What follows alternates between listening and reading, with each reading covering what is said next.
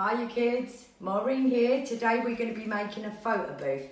Now this little photo booth can become part of your history because you can say this is what I made during lockdown.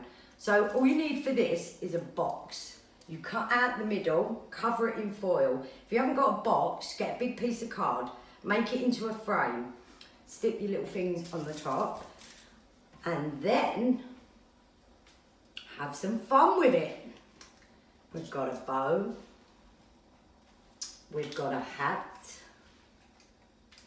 We've even got little Mo's glasses. Right, so all you need for this is some of these sticks, barbecue sticks. I'm going to show you how to draw these and then all you do is draw them on card, colour them in and stick them on the back. So now to draw the moustache you just need to do this shape, which is like that, up, curl, and follow it back round, like that. Colour it in, cut it out, put it onto card.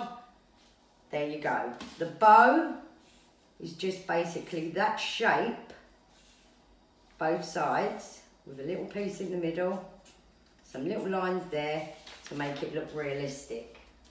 Okay? And then the hat, go round and around at the bottom, put a line across. So you're obviously going to do it bigger than that. And then you've got your little hat.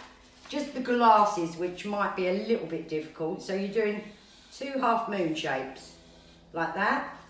Lines across, make them quite thick. And then a little line for the bridge. Yeah, you're going to cut out the insides of that there you go, little Mo's glasses. Put them onto the stick. There you go. Happy photo booths. See you later.